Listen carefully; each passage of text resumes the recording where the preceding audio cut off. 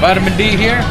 Do a little bit of the game called BlazBlue, where if you can look at the style, you can tell it's from the people who did uh, Guilty Gear.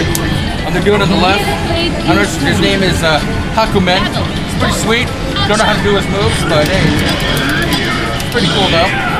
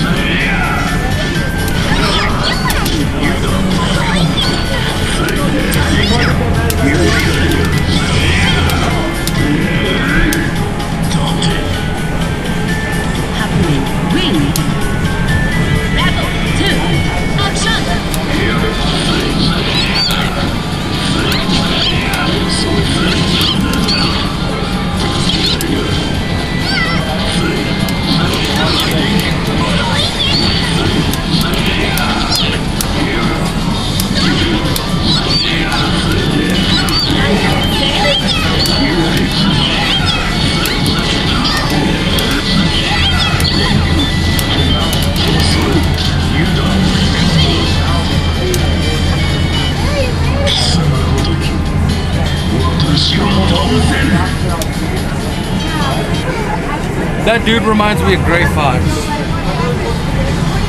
I was gonna say Sephiroth.